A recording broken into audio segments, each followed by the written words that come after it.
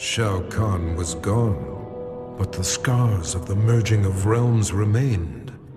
Remnants of the invasion force roamed freely and had to be dealt with. But Earthrealm is vast, and Raiden is but one being.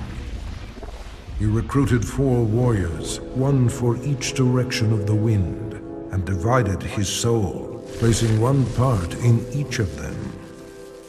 Through these new heroes, Raiden can combat the forces of darkness in four places at once.